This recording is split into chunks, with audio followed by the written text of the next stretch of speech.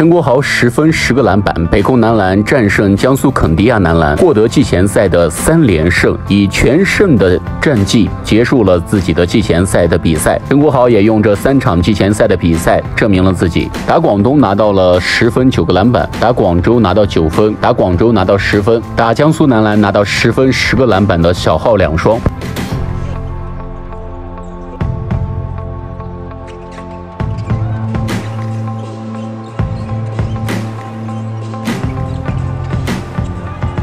杀到篮下。开场之后，马建豪其实打的非常活跃。陈国豪三分，哇，好球！下，杨帆，这球费尔德传的不错，不好，到篮下制造了犯规。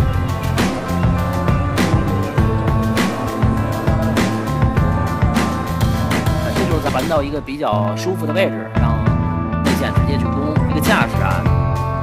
双方这比分啊，不会像第二节那样守联守联防先漏了，这球给了陈国豪一个直接留底线的机会。